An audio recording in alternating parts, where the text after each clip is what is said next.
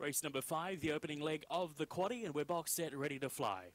Lure up to the boxes. They're set, ready, racing.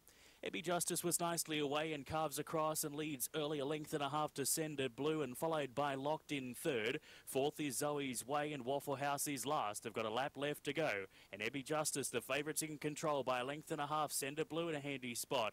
Three lengths away then to Locked. Separation into Zoe's Way and Waffle House. At the top corner and Ebby Justice went wide there. Sender Blue's getting a run up along the inside and grabs the lead. Sender Blue now leads from Locked in second. Ebby Justice shuffled back to third. They turn. Send it blue, two in front of locked. It's send it blue, and send it blue beats home locked. Ebby Justice, Zoe's Way, Waffle House, and the time 35 and 50. Send it blue, the winner. Number one, in a time of 35 and 50, beats home seven locked, and third goes the way of number six, Ebby Justice. 1, 7 and 6 the details.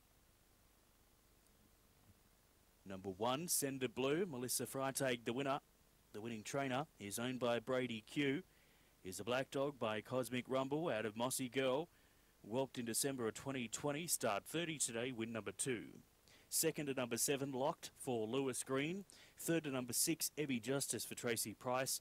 And fourth to number 8, Zoe's Way for Dean Fennell.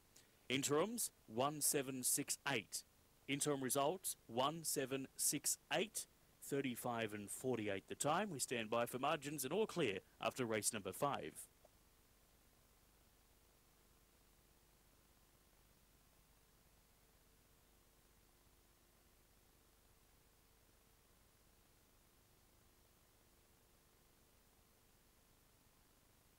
Three and a half by three lengths. It is all clear. One, seven, six, and eight after race number five.